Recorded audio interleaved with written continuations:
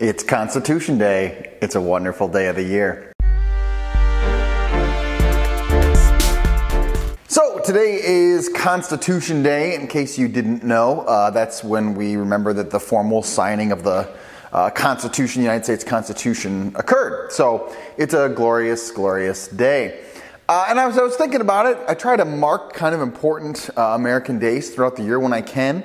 And as I was thinking about this year and, and this Constitution Day in the context of our current culture, I think there are kind of three general camps you could be in regarding the Constitution. Uh, the first is, of course, the progressive liberal camp, which is ignore it and do what you want because might makes right. Uh, the other camp is kind of the, the conservative camp of like, oh, that we still regard the Constitution. Oh, that we have forsaken it and that we have, st- we have strayed from it and, and that's led us to all our woes. Uh, and then the third camp is pff, the Constitution. Like, what good has it done us anyway? And it's kind of this cynical, derisive um, way to look at it. Like, it's just a piece of paper, it didn't do anything. And uh, I think those are kind of the general three camps people can kind of fall in these days in, in our current era about the Constitution itself. So, what I'd like to do uh, this Constitution Day is encourage you to go read it if you haven't.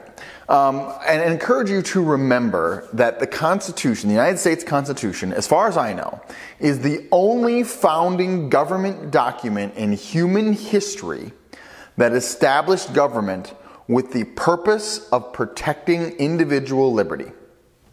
That's it. There is no other government in human history that was founded eh, to protect human liberty and founded in such a form that it was to restrict itself. That is really what the Constitution is about. The Constitution is a restrictive document on the powers of government. It, it, enumerates where government can go and no further can government go? Now, of course, today we have ignored the Constitution and, and we, government has trounced right over it and has gone into areas that it is not legally allowed to go. That is absolutely a problem. That is absolutely reality. And in that sense, I understand the people who want to be dismissive and derisive about the Constitution in the sense that, oh, it wasn't, it couldn't do anything. And I would charge they're just laying the blame in the wrong place. Uh, the blame, of course, is people I agree that it's, it's a piece of paper. The, the Constitution is a document. It is a glorious document. It is a well written document. But any document, anywhere, is only as good as people are willing to adhere to it. That's, that's just reality.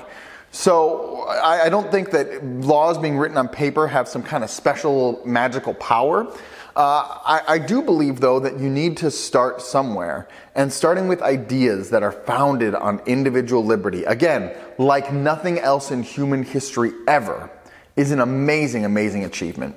So, for that reason alone, I would encourage you to give it, take 15, 20 minutes and read through it and remember that there were once men who stood in the gap and said, We will found this nation on liberty and we will not allow tyranny in our land.